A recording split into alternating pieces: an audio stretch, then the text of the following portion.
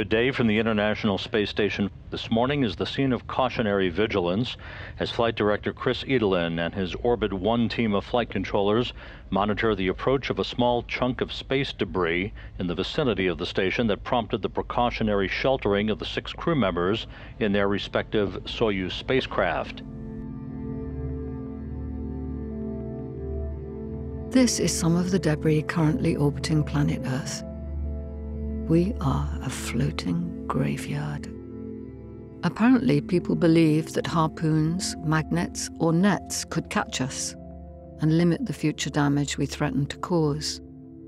But right now, there's no viable means to bring us back to Earth, to bring us home.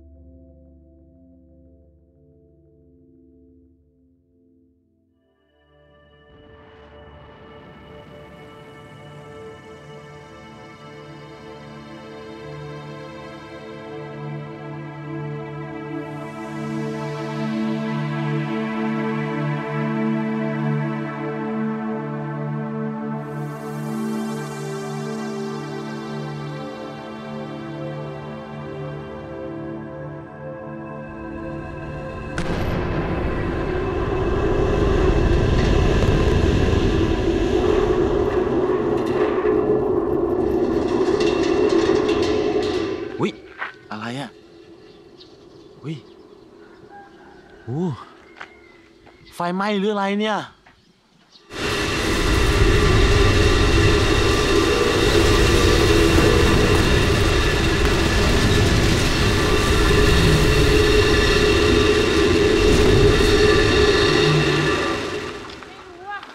ต้องบินแล้วแหละ จะตกเปล่า แม่มาดูอะไรนี่แม่ โอ้ย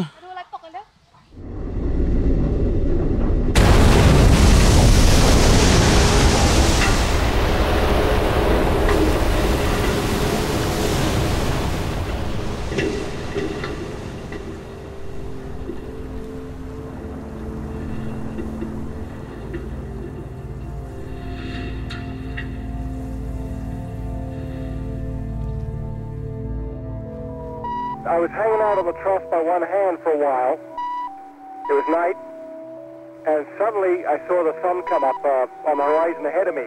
My feet hanging over the earth. I watched the dawn come up over the planet and just come in a line straight underneath me, and then the sun come up and hit me in the face. It's honestly the most beautiful thing I've ever seen. It's just like you're standing in space, you know, naked or sitting in shorts or something and you're totally in the environment. You become very, very aware of how huge the planet is below you and how beautiful it is.